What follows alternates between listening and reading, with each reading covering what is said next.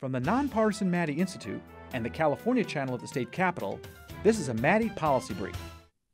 Welcome. Our guest is California's legislative analyst, Mac Taylor, who's going to give us a summary of state and local finances in California. So, why is uh, personal income tax the main source of state revenue, and why is it so much more volatile than the economy? Well, it wasn't always. We used to rely much more heavily on the sales tax. But over time, the reliance on the sales tax has dropped and it's increased dramatically for the personal income tax, which now comprises two thirds of our general fund revenue, our main operating account. And the personal income tax has become more dominant because income has grown. We have a lot more capital gain income. We have a lot of high income people. We have a very progressive rate structure.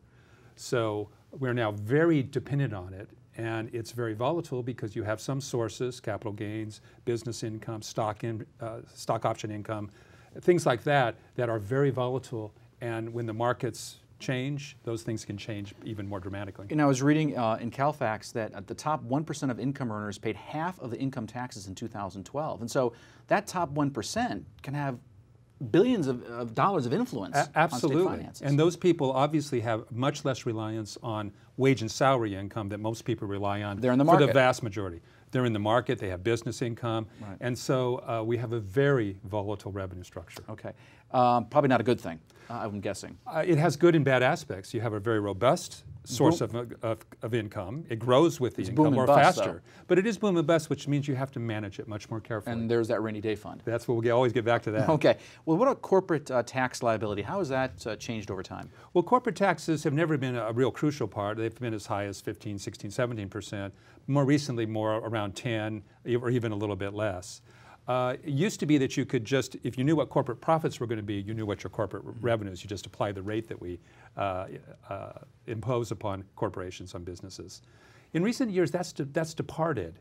And now, if you can estimate profits, it doesn't necessarily mean you've got your uh, revenues that are coming from the corporate tax because of various tax exemptions and various pr- uh, provisions that we've adopted. Some people might call them loopholes. Um, I don't think they're loopholes. We know what we're doing. We, we well, they the- actually do use tax policy as a way to for public policy and to change behavior. Uh, They are given for very particular reasons. What about sales tax? Uh, what's going on with sales tax? Again, as we sort of alluded to, sales tax has declined over time.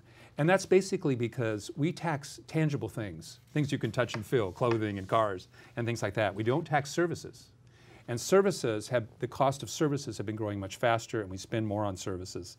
So sales tax as a percent, say, of the state's economy has declined over I think time. I was reading that, that, that services are about 80% of the economy. Uh, it's, it's a large part of the state economy. I believe I have that right. I, I'm sure if I don't, people will correct me. Um, well, let's talk about the major source for local jurisdictions, Mm-hmm. uh, cities, counties, and special districts. Where do they get their money? very differently. If you look at a city, they rely on property taxes and sales taxes a lot. But they also, because they provide what are called municipal services, they might do the trash or water, they'll have fees that they charge people for those particular mm-hmm. things. So they collect a lot in what are called charges.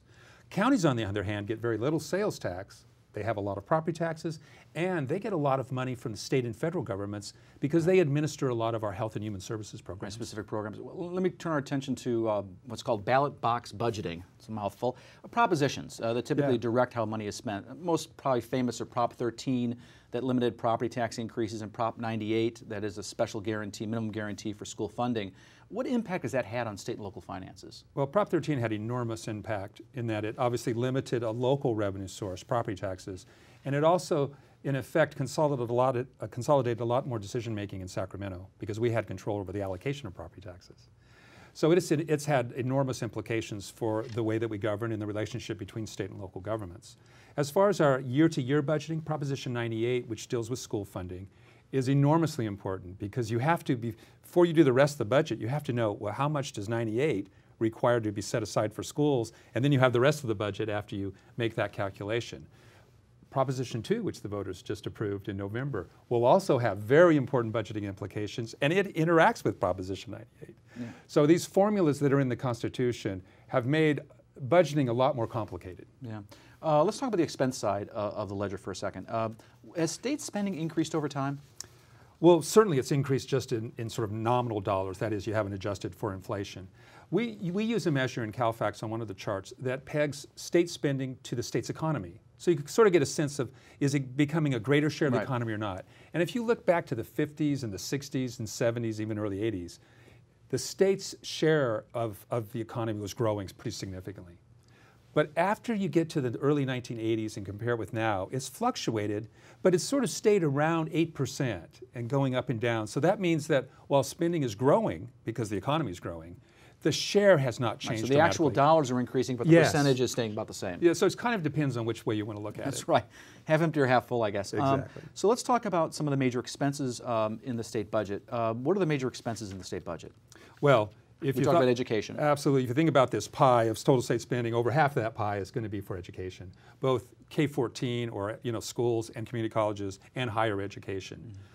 The rest of the budget, you got maybe a quarter of it is in health and human services with Medi-Cal, the healthcare program for low-income people, by far away dominating that health and human services spending. And then you have corrections, our state prisons and courts, which is about a tenth of state spending. Yeah, so 10%. A lot of people think prisons are the most expensive thing the state uh, spends money on. It's not, it's education. They do, and I think it's a little bit understandable because in the 80s and 90s we were building a lot of prisons and a lot of the marginal dollars, that is the additional dollars that were coming in, had to go to prisons because their share was rising during that time. I'm, I'm running out of time in this segment, but I want to ask you one last quick question. That is about major long-term liabilities uh, for the state. Are they being addressed, do you think? Generally, they are being addressed. Pensions are being funded, the unfunded liabilities being amortized over 30 years. The single biggest thing that we're not dealing with is our state retiree health benefits. Okay. For a more in-depth analysis of this and other public policy issues important to Californians, please log on to our website at maddyinstitute.org and click on the Policy Analysis tab.